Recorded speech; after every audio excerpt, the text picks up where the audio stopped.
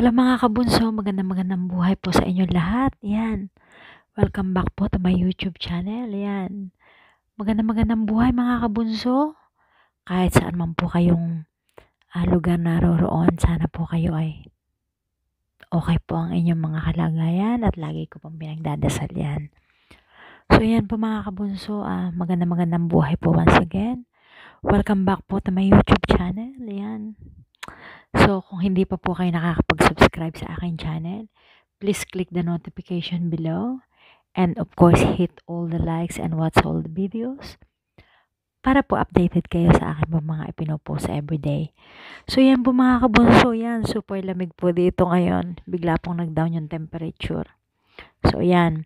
So, mga kabunso, um, maraming maraming salamat po sa pagsuporta po ninyo sa channel ko. And of course, Hihilingin ko po sa inyo na suportahan po ninyo ang channel po ni Bunso Glemo Migs Molino. And of course, ni Mahal, kahit po siya nasa sa taas na, suportahan po natin ang kanya puntahanan na pinapalakad po ni Sir Jason Tesorero. Yan, yun man lang po ay maging tulong natin sa kanya. So, pag po pinanood natin ng mga videos, wag po natin i-skip ang harang. Maraming maraming salamat po sa inyo lahat. So yan, at maraming salamat din po sa pagsuporta po ninyo sa akin sa araw-araw ng aking po mga ipinopost na video. Asahan po ninyo ang balik kong suporta sa inyo po lahat. Thank you so much po mga kabunso. Uh, wag na wag po ninyong pababayaan ang inyong mga sarili. Yan. So I will say magandang buhay po ulit sa lahat. So nandito po tayo, nagbabalik po ulit tayo para po um, maipakita po sa inyo yung video na yan. ano na, naiyak na ako. Siguro lahat po ng um, makakapanood nito, makaka-relate at maiiyak kasi wala naman po tayong magagawa. Lahat po tayo ay nabubuhay na sa throwback. Although nandito po si Bunsog Lemo Migs Molino, pero syempre yung kanila pong alam ko pong wala pong alam ko pong wala pong makakalimot sa kanila pong mga pinagsamahan ni Mahal nung siya po ay nabubuhay pa. Yung mga bidi po na iniwan ni Mahal, yung po kanyang mga iniwan para sa atin, yun na lamang po ang ating mga binabalik-balikan. So, ang ipapakita ko po sa inyo ngayon ay siguro nakamove on na si Bunso. Baka ako hindi pa ako nakakamove on. Sorry po ha, na-carry the way ako. Nagsisimula pa lang ako, naiyak na ako. Ipapakita ko po sa inyo yung pong walang hanggan na nalala po ninyo yung video nila sa bahay ni Bunso Glema Mix Molino. Yung pong nililiguan ni Bunso si Mahal uh, sa isa pong uh, maliit na hindi po tangke ang tawag doon. Although maliit po siyang pinakakawa, uh, ipunan po ng tubig. Meron po siyang poso. Parang maliit po na square na hindi na parang paddling pool or something like that. Katulad nga po ng sabi po ng mga nababasa ko, sa talambuhay nila, never silang pinaliguan ng kanilang asawa o mahal ng ganong katulad ng ginawa ni Bunso kay Mahal. So, ipapakita po natin yan. Um, yan po, um, ito po, um, ito po yung video na yan na uh, Nahiyak ako. So, yan po, ipapakita po natin yan, mga kabunso, yan. Papakita po natin yung video na yan para naman po makita ninyo. Ano po? So, sana po, stay tuned po kayo. Papakita po natin yung video na kung saan po nililiguan ni Bunso, si Mahal, sa isa pong um, square na para pong paddling po ng tawag doon, na poso po ang ginagamit. Yan. Stay tuned po kayo. Salamat po.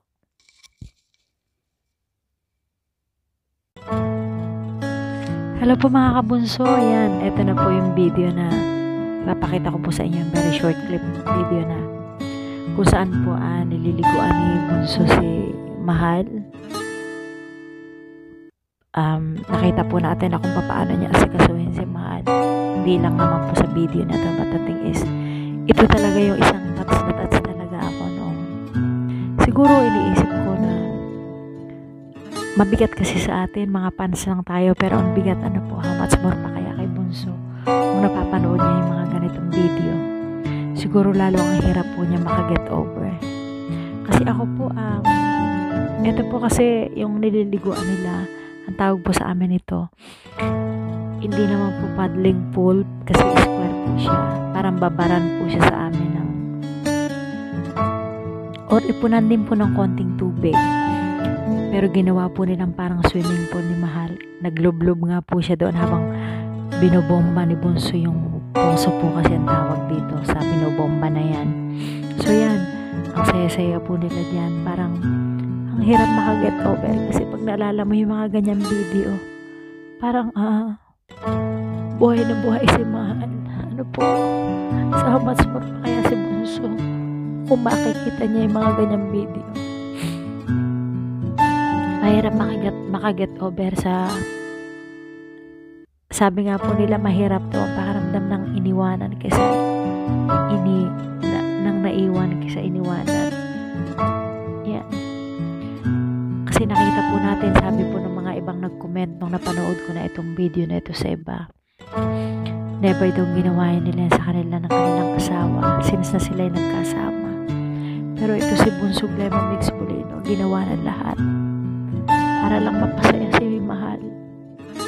Pero syempre, kahit hindi niya gustuhin na mawala, kinuha na nasa taas. Kaya, siya nga po, kung tayo po mga pansi nabubuhay sa mga alaala, lalo na rin po siya, lalo na siya lakasama. Lalo po siyang hirap na hirap makaget over siguro dahil sa kanila pa mga pinagsamahan. Naiyak ako. Kasi parang buhay na buhay ho siya, di po ba? Kapag napapanood natin yung mga video, buhay na buhay siya sa lahat ng video. Kaya parang ang hirap makakitober. Sabi ko nga baka si Bunso naka-move on ako, hindi pa kasi sa nangyari kay Mahal. Kasi ako po talaga ay solido mamigs po talaga ako instead. Kaya nasubaybayan ko po lahat Ayun. So, kaya nga mga kabunso, ang may tutulong na lang po natin kay Bunso Clemo Mix Molino ay ang panood po ng kanyang mga video. Huwag pong i-skip mga harap. Yun na lang po may tutulong natin sa kanya. Ito po mga video na ating mga binabalik-balikan. Iti-treasure din po natin ito. Katulad po ng ginagawa ng karamihan. Ano po? So, yan po. Maraming maraming salamat po mga kabunso. Yan po yung short clip video nilang dalawa nung nililiguan po ni Bunso si Mahal. So, yan po. Ingat po kayo. Ingat po kayo mga kabunso. Maraming maraming salamat po sa inyo. God bless po. Lagi po kayo mag-iingat. Kung hindi pa po kayo nakasubscribe sa aking channel, please click the notification below. Pakipanood po ng video and then pakihit na po ng likes para po updated kayo sa mga pinopost ko everyday. Maraming maraming